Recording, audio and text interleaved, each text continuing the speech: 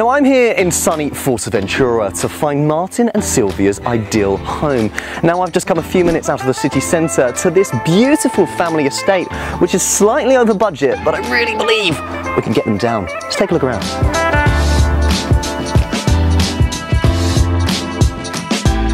It really is the finishing touches that do it for me, like bringing the outsides inside, like the beautiful flower arrangement, to this massive skylight. And what I really love is how far away this estate is from any road noise. And all of this just a stone's throw away from the local beach. Ah! And what an absolutely stunning beach it is. Slightly windy, but you would expect that because Fuerteventura does in fact mean wind. For this all-encompassing property at just a smidge over half a million euros, I really do think I've found Martin and Sylvia's forever home. Definitely ain't mine. Half a million for that. Wow. Last time you joined me on the hunt for Martin and Sylvia's forever home.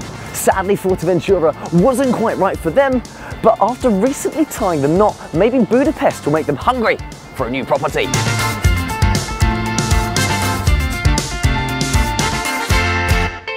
Now, who could say no to a sea view? That's why I brought them here to this cosy compact apartment, which is just a 40 minute walk to the train station and then a further hour into the city centre. If you're big on celebrity spotting, this is the place to be. The great Eamonn and Ruth once thought about coming here after later deciding on Cancun. With the sun now setting here in Budapest, we wait for that all-important phone call from the landlord. Hi Terry! Oh, that's absolutely amazing. Oh, they'll be over the moon. Thanks so much, Tel. Okay, I'll let them know.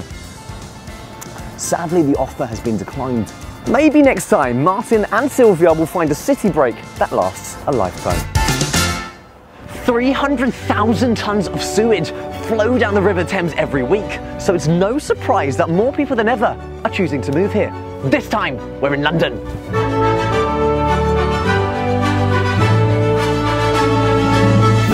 We're looking for a place that ticks all the boxes, from that tight-knit community to beautiful open spaces. Who could complain about neighbours like this? And I hear a place in there has just opened up. And before you know it, you'll be bumping into old friends. Martin, Sylvia, hiya.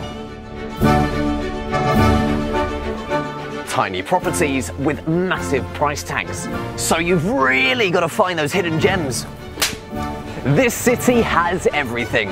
There's just one thing missing. It's you. See you next time. I, for one, can't wait. After putting the search on hold for a few months, Martin and Sylvia are back hunting for their forever home and are now more eager than ever for some summer loving. Call me Danny Zuko because I believe I've done just that. This year, why have a vacation when you can have a staycation? Let's take a look around. With a kitchen, lounge, bedroom, ensuite and overhead storage rolled into one, this property really speaks for itself. From these vintage curtains, wraparound sofa, to this huge panoramic window, you've really got it all.